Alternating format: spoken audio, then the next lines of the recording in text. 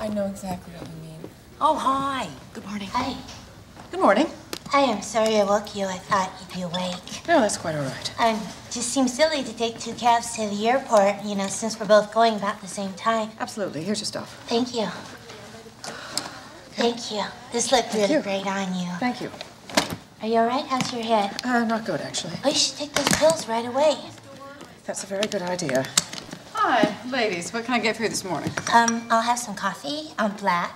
And I'm gonna have the pancakes and oh no no no not not the pancakes. i yeah yeah I'll have the pancakes and um just butter no syrup.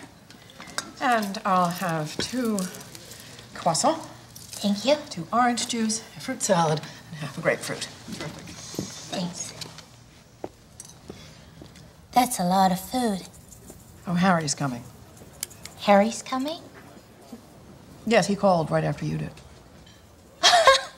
You are such a bad liar. uh, excuse me.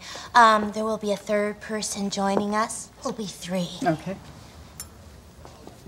That son of a bitch. Nothing happened. Hmm. We talked. Hmm. Like friends. Ah. Thanks, darling. And, um, were you friends with your husband? In a way that a small boy is friends with a bigger boy who bosses him around. Not equal friends. No, not exactly equal friends. Good morning. Good morning. Um. Edie? Edie, Edie, Edie, I know. I sit here? Please. Sure. So, how are you? Fine. You sleep well? Knock it off. Hi, Harry. Hey. Uh, what's this? Would you rather have the fruit salad? Um, couple eggs over easy, a little sausage, a little bacon. Oh, just yell if you want more coffee. She's pretty. Butter? Oh, thank you. We were talking about my husband.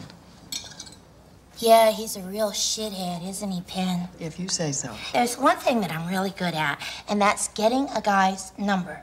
It may be written in disappearing ink, but while it lasts. Sugar? You're awful damn pleasant this morning. What happened to the ants in your pants? Uh, you, you caught me at a bad moment. No, thank you. You know what really bugs me? He's been seeing this cupcake. How do you know? Well, a friend of mine saw them together. He said, You know, I saw your husband was a really cheap looking person. Oh my God, what does she look like? Well, he couldn't get a really good look at her because they were sort of nipping down this street. But I tell you, if I ever meet her, I'm going to wring her cheap little neck. I'll help you. Oh.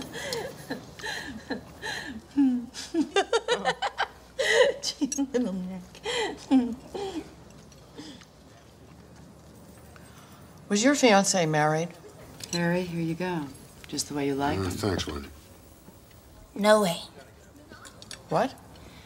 It was kind of a promise I made to myself. I don't want to get involved with married men anymore. This is what I want.